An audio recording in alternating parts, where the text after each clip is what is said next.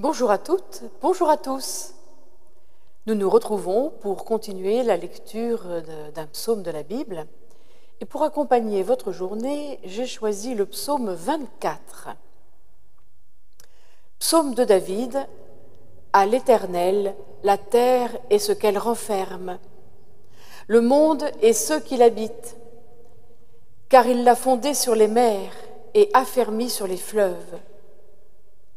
Qui pourra monter à la montagne de l'Éternel? Qui s'élèvera jusqu'à son lieu saint?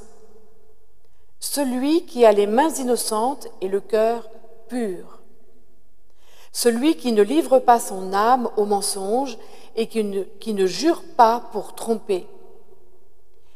Il obtiendra la bénédiction de l'Éternel, la miséricorde du Dieu de son salut.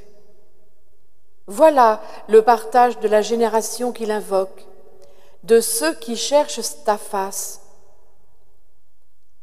Porte, élevez vos linteaux, élevez-vous, portes éternelles, que le roi de gloire fasse son entrée.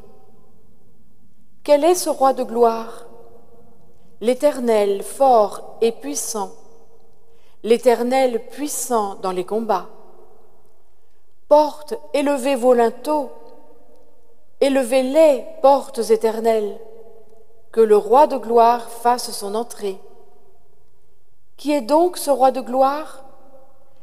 L'Éternel des armées, voilà le roi de gloire. Et je vous souhaite une bonne journée.